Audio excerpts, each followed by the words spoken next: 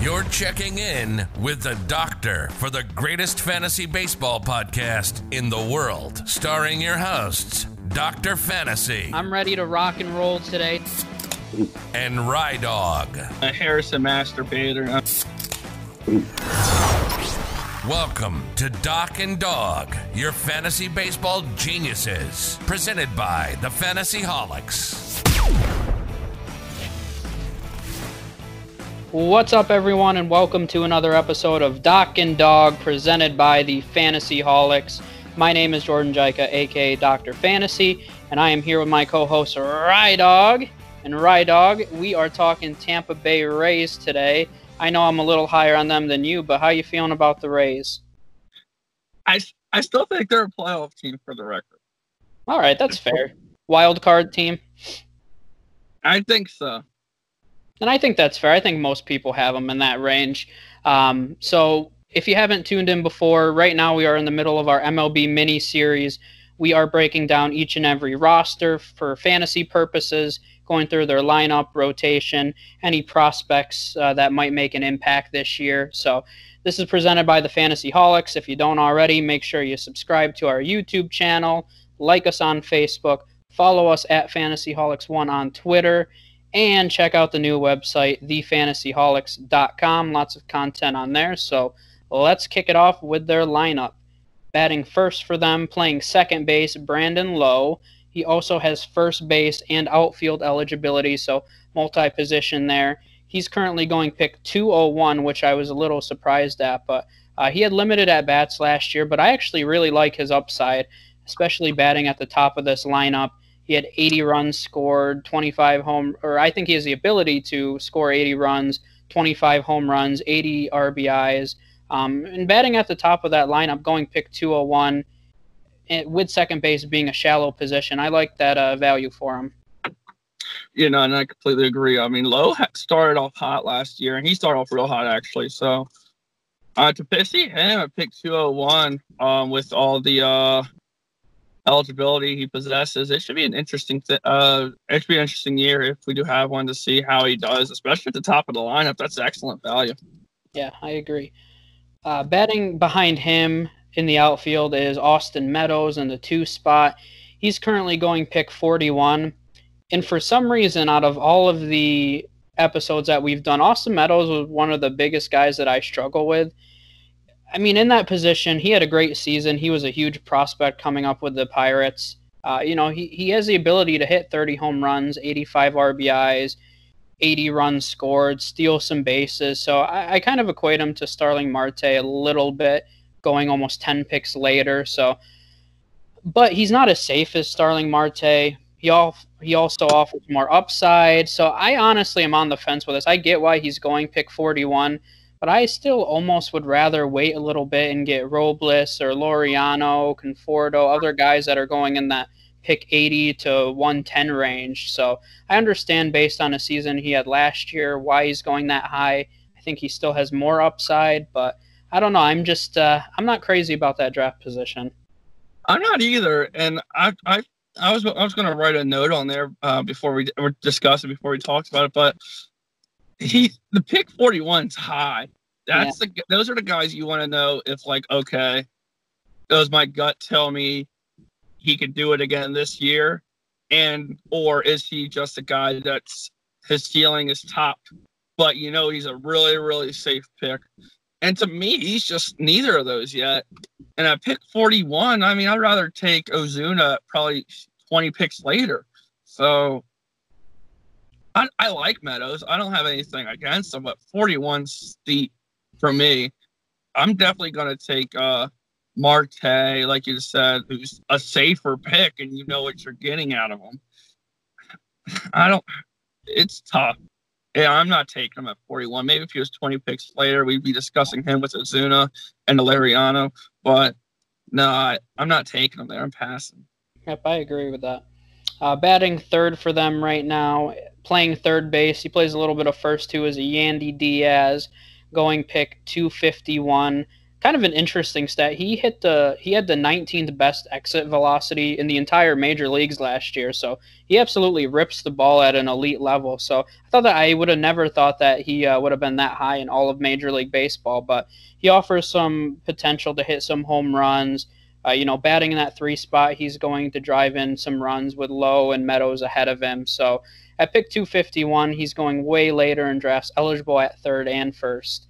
Um, I actually have him as my starting first baseman in a league, which I should probably fix. But he does offer a little bit of upside towards the end of drafts at pick 251. Yeah, and I agree. Um, he hits the ball. His swing is so powerful. I was I was catching some Rays games last year whenever they were on Sunday Night Baseball. So his swing is definitely very very powerful. Um, he re rips it. So definitely his numbers don't show it, unfortunately. So I'd like to see what he does in this three spot, though. He should be able to drive in a decent amount of runs this year. Yeah, I agree. Um, then currently batting fourth for him, they have Ji-Man Choi playing first base for him. And I think one of the biggest problems, and you, you'll see this with a lot of almost every single Rays player is being drafted. But the problem is they play the hot hand you never know. You know, when Choi plays, I actually streamed him at first a little bit last year. He went through a huge hot streak, but then two weeks later he could lose it to Nate Lowe, or I mean, they just rotate through guys based on the hot hand. So it's really tough to trust any one of their players for an extended period of time, with the exception of Brandon Lowe and Austin Meadows, probably. Even Yandy Diaz is pretty locked in at third. But um, you know, not a guy that I'm going to draft Choi. He's going to go through his streaks if you really need a first baseman and you're looking to stream one during that streak, he's worth it. But I don't even trust uh, Nate Lowe or really anybody that's playing first for him right now. I agree. I agree completely. Those three players in their first three, uh, in the first three players in that lineup with Diaz, Meadows, and Lowe, they're locked, like you said. I, I completely agree. They they switched off so many players last year with whoever was just hot that week. So it's interesting to see how they. That's why they win. That's why I have them as a wild card team. They're a great, they're a great, great real baseball team. But God, they could be a nightmare for fantasy. Yep, that's for sure. Except their rotation, which is pretty strong for fantasy purposes this year. But yeah, I mean it's hard to trust anybody in this lineup for a long period of time. Oh, for sure. I was referring to the lineup. No, that rotation is filthy. Their one through four is just outstanding, and we'll get into that later in the episode. Then number five in that lineup is Hunter Renfroe right now in the outfield. Um, probably another guy that's going to get consistent at bats the entire season, but he's going pick 224 right now. I kind of throw him once again in that Joc Pederson category. I call it a guy that's going to hit 30 home runs, bat 220, 230, really low average you know, if you ignored home runs, which is kind of hard to do because I feel like everybody has some sort of power in today's game, but if you completely yeah. ignored home runs in the beginning of the draft, uh, you know, maybe I could take a flyer on him. Um, he's batting in a decent position in the lineup in that five spot, so has some potential to hit home runs, but nothing really beyond that. Yeah, I agree. I mean, his his ceiling is kind of capped. He is a part of that uh high home run, low batting average uh, category. So yep. he's a decent streaming option if you need one. Then currently batting sixth for him is Yoshi Tsutsugo, something like that. he's going to be coming over from Japan this year. Uh, I can't say I've ever tried to pronounce that name out loud, so uh, I'll figure it out eventually if I need to. Uh, he's going 244 right now. No, not a name that probably most people know. He's once again, I'm probably not drafting him in the beginning of the year. Number one, I want to see how his at bats shake out and where he fits in in that lineup. Number two, I want to see if he transitions to the game over here decently. Uh, he's made. He was. I read up a little bit on him in his career in Japan. He uh, made the All Star team for the past five years, led the league in home runs. So a guy with power potential, which I'm intrigued by, but I'd leave him on the waiver wire to kind of see how everything shakes out, and but still keep an eye out for him. Yeah, agreed. He's a guy that you might want to put on the watch list when the season starts. I mean, if you if someone decides to roster him, I mean, you can't really have him on your watch list. But if he's in the free agency when the season starts, I definitely keep an eye out on him. He's definitely showing power over there overseas. Yep. For sure. And once again, you know, he fits in, he'd probably play first or the outfield for him. So it's hard to predict who's going to get at bats with the Rays. So until that yeah. out, it's hard to take a lot of these guys. So even moving to number seven, Willy Adames, who is playing shortstop for him, going pick 249 right now, very low ownership percentage. So realistically, probably only being drafted in super, super deep leagues not a ton of upside there. I think he's just keeping shortstop warm until Wander Franco is ready to come up, and I think that's his job right now is just to keep that spot warm.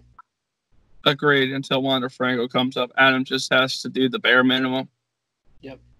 Uh, number eight in that lineup is Kevin Kiermaier uh, in the outfield for him. Another guy who'll probably get pretty consistent at bats. I wish he was higher in the lineup because he does have a little bit of speed. I think he has 20 20 ability. Um, you know, right around a 250 average. Once again, probably not drafting him if he does get consistent at bats, and more importantly, if he was able to move up in that lineup, I think it'd be a different story. Uh, probably score a lot more runs, but as of right now, I'm keeping him on the bench or on the waiver wire. Yeah, me too. I completely agree. He's not a guy that I would decide to go after, uh, unless he shows some signs of glimpse, of course. You're probably in last place then. yeah. batting ninth in that lineup is Mike Zunino. He's catching for him. Um, I remember him coming up with the Mariners. He was a pretty big catching prospect, but never really lived up to the hype. He has some home run potential. However, he's hit really below 200 the past few years. So yeah. uh, there is no way that I'm touching that in my lineup. And I don't really think there's much else to say about him. Yeah, maybe they should decide to trade for a catcher. Maybe that's he's not really much of a defensive catcher either. So no average. No, he's just there. And that's why I, would say I'm surprised by that. I think the Rays are usually pretty strategic because even you know, and we're talking about fantasy or the uh, fantasy perspective for a lot of these players. A lot of them play really good defense though, which we haven't talked about. So the Rays construct kind of strategically there. So Mike mm-hmm. Zunino doesn't offer defense, offense. I'm not sure what they were thinking there. I agree. He, I'm not sure if he's really a major league caliber catcher, but hey, he's doing it there, and uh, he's getting paid more money than I am. So paid. That's all he cares yeah. about. Oh yeah, paycheck, baby. Uh, another guy to keep an eye out on that's on their bench right now, outfielder Jose Martinez, who had a pretty good season with the Cardinals, um, showing a little bit of pop. Once again, another guy you just have to watch the at bats and see if he gets them consistently. Agreed. All right, let's move over to the more exciting piece of the Rays roster, their rotation. rotation. Number one for them is Charlie Morton right now, currently going pick 62. You know, he's once again one of those guys. He's a little older now. He's kind of come out and said this is probably going to be his last year, so it's possible we never see Charlie Morton again. But if there is a season this year, um, I actually think pick 62 is pretty fair for him. And just because he's one of those older guys, I always say, oh, you know, he's going to fall off. He's going to do X, Y, and Z. But when you look at a lot of his metrics, there's really no reason you can say, oh, man, he's in for a, a bad season. Uh, you know, he doesn't have great velocity, but he has great control of those secondary pitches, gets great movement on them. Uh, had 240 strikeouts last year, so he had a big season. And uh, considering the season that he had last year, 60 is probably a little bit of a steal for him. I think so too. And people really pass on because oh, he's 38 years old. He's gonna fall like you say, he's gonna fall off hard. But I mean, like you said, you look at the advanced metrics, he's definitely showing like he can pitch for another two, three years. So it's gonna sad to see Morton go though. Yeah, no, I, it's you know, it's kind of like an R.A. Dickey end of the career when R.A. Dickey yeah. was young, but that's kind of what it was. You know, he kind of he's never pitched to this kind of level, so if he can do it over, I think he kind of figured it out a little later in his career than most. But I uh, I, I like him in that spot. I do too. I completely agree. And then number two in that line or rotation listed right now is Tyler Glasnow who I have an article coming out on this week on Tuesday, I believe. Um, he's currently going pick 73. You know, I was surprised he was going that early, but I think a lot of people recognize how elite his upside is, and that's why I wrote a Cy Young article about him. Uh, I think it helps him a little bit if the season is shortened, just because he's never really been stretched out. He's had some injury problems in the past. I think he only pitched about 62 innings last year. Uh, you know, had a 1.78 ERA, a WHIP under one, struck out 76 batters in those 61 or so innings. Um, so he has all the ability in the world. He was a highly regarded prospect as well. Um, it's just a matter of he if he can put it together for a full season. And I think the AL overall is uh, a little weaker when it comes to elite pitchers. So I think he offers Cy Young upside. I think he's that talented. It's just a matter if he can stay healthy and put it together for a full season. So at pick 73, I'm willing to take that chance. He's going after guys like Paddack, Giolito, Castillo, you know, a good 15 or so picks, which I think it's because of the injury concerns, but um, I, I like him in that spot. Yeah, no, I, I, completely agree with you with Glasnow. I'm actually a very high guy on Glasnow. I actually have I actually had Glasnow uh, in a couple leagues. I have in a couple dynasties where I have him as my second pitcher, and I'm completely fine with it. I mean, the injury history is there. Yes, for the record, it's there. He can't stay healthy, but you look at a guy like Strasburg, where he struggled injuries over time, and then like only about a couple seasons ago, he finally put it together. So I see like a, a younger version of Glass uh, Glasnow of Strasburg. So you know, I definitely like me some Glasnow. I mean, I completely agree with you there. He's Cy Young caliber, and uh, going 15 picks later than Giolito. That's that's money value in my opinion, since I'm not high on the Giolitos, but I'd put him in that category with the Castillos. So. Yeah, and I think that Strasburg, I think that's a really good comparison because I think that he offers that kind of elite upside. So I like that comparison. Oh, I completely agree, and it seems like their track is definitely very, very similar to how Strasburg's road to the show was versus how Glass. I mean, Glasnow wasn't as highly scouted of a prospect, but he was definitely a high scouted prospect. But the injury concerns and whatnot, it's definitely a similar road to the show, though. So I'm definitely excited to see Glasnow back on the diamond. Yeah, I like that. Uh, number three in that rotation, number three listed. I, I think these top three guys are all kind of one A, B, and C for them. But uh, Blake Snell is listed as their third starter. He's had some injury concerns and struggled a little bit last year.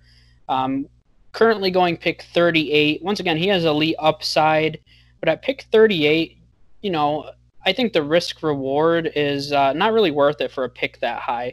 You know, I, if you're talking Glasnow going almost 40 picks later, you know, to me it seems like a no-brainer to take Glasnow. But uh, I think Blake Snell's going a little too high based on the injury risk and the reward of what he can offer. And I completely agree with you there. Um, I, I I do think he's going to rebound. I mean, but I'm not confident enough to spend my fourth or fifth round pick on him. So especially at 38, he's got to be a top 10 pitcher coming off the board, too. Yeah. I'm not taking that, especially with a guy just posted, what, a 4.2 ERA last year? Yeah, early... The seventh pitcher off the board right now. And that's just crazy. I get it. In a dynasty league, maybe.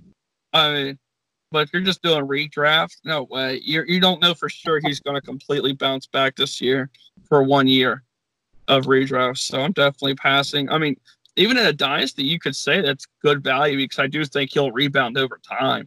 Yeah. But uh, and redraft, I'm passing. Yep, I agree. Fourth in that rotation right now is Yanni Chirinos, uh, currently going 224. We had a sleeper article come out about him a little while back now.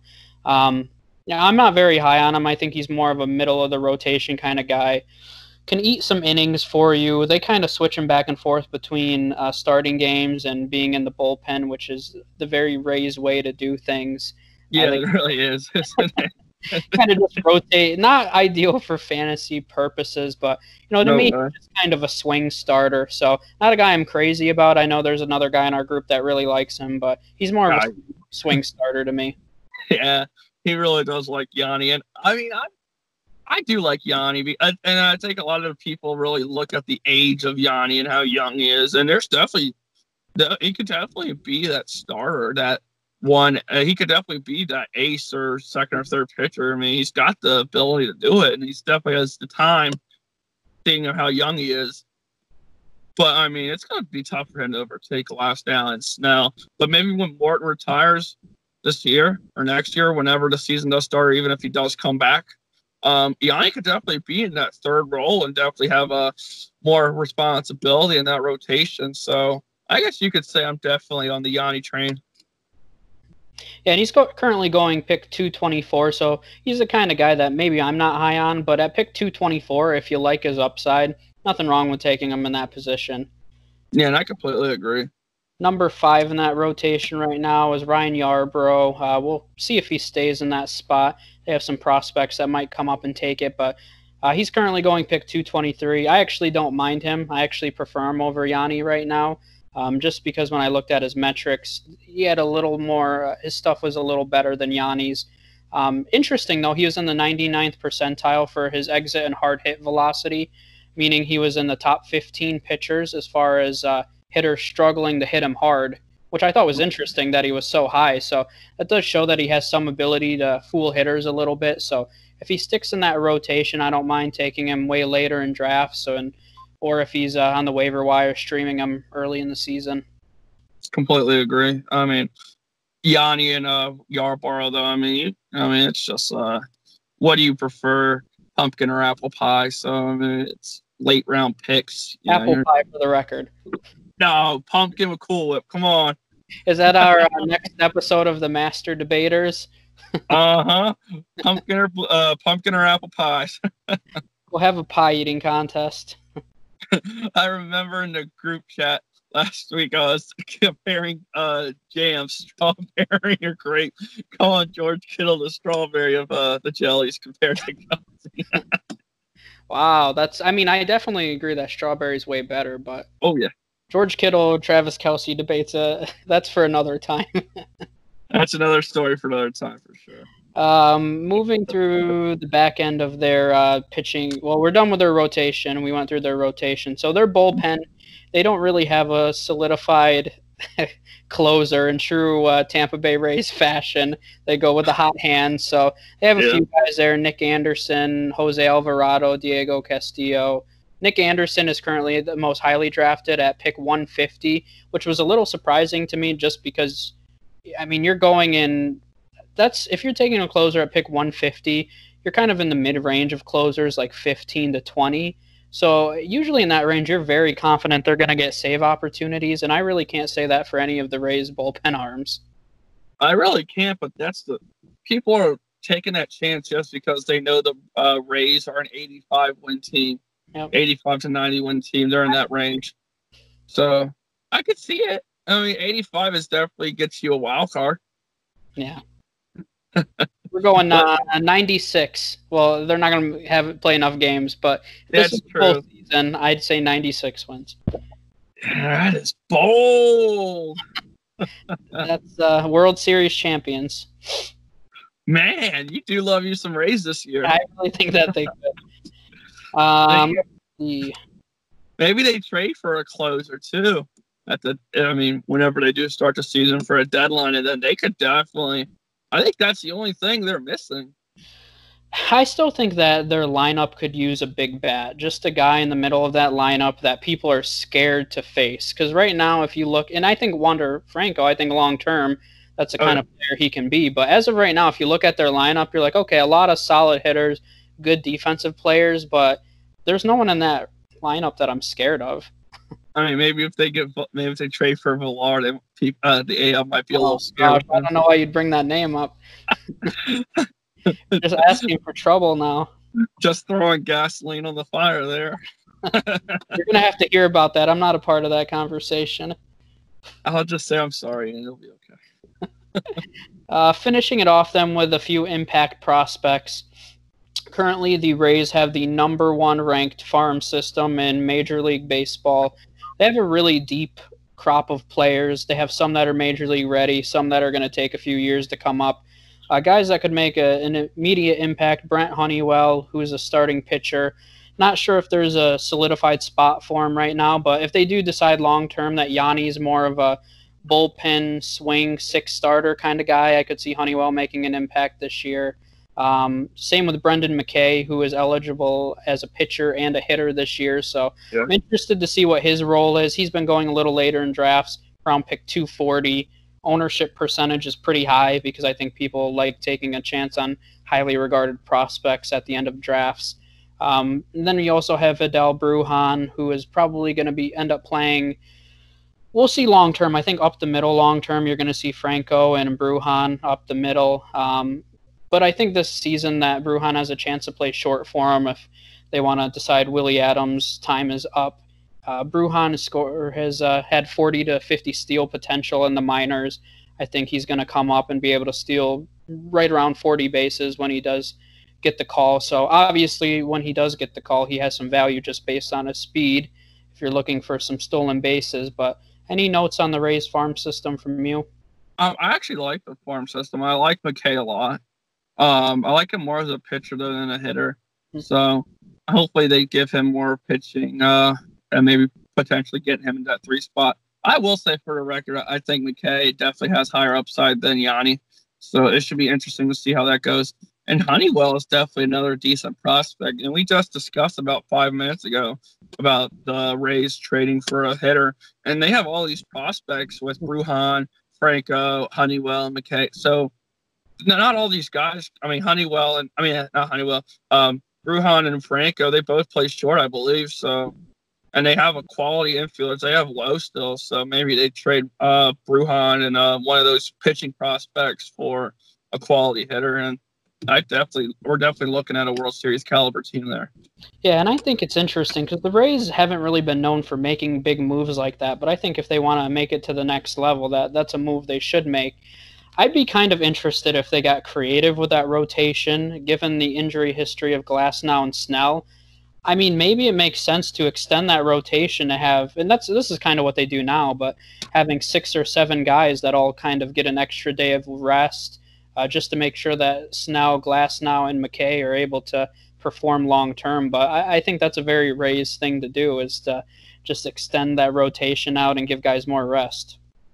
And I completely agree. And that's that's going to be interesting. It's a good, well-rounded young team. That's what they are, and they're definitely ready to compete. So I'm looking forward to it. Actually, now that we've really discussed it, I mean, they just need a closer and that big bat in the lineup, and they're definitely good to go. Yep, I agree. World Series champions. Whenever that World Series is played, you can write it down. Mark it down. Oh, Nats and Rays. Nats. I don't know about the Nats. Their time's done now. Oh. They had their magical season. Now it's over. The baby shark. yep, that's all you need. One baby shark run, and you're good to go. See another one, another 15 years. that's how the Mets do it. They're good about every 15 years. So they made it in 15. So I got. I'm waiting until about 2030 right now. So I got some time to kill. Oh no, not with Turner and Soto. We got we're definitely playoff caliber still. oh yeah, they'll be in the playoffs. But any other notes on the Rays? Um, I think that is it for the Rays. Uh, you've definitely made your prediction with the uh, World Series champs. I am going with the uh, wild card as of the roster they have now. If they did trade for that closer or that big bat, I'm we're definitely looking at a new division champion, possibly the you know a World Series contender as well. I like it. So, thank you everybody for tuning in. Make sure you like the Fantasy Holics Facebook page, subscribe to the Fantasy Holics YouTube channel. YouTube. Follow us on Twitter at FantasyHolics1 and check out our new website, www.thefantasyholics.com. We have lots of NBA, MLB, and NFL content. We're uh, pushing new stuff out every single day. So check it out. And once again, thank you guys for listening. Thank you guys. Bye. Bye. Bye.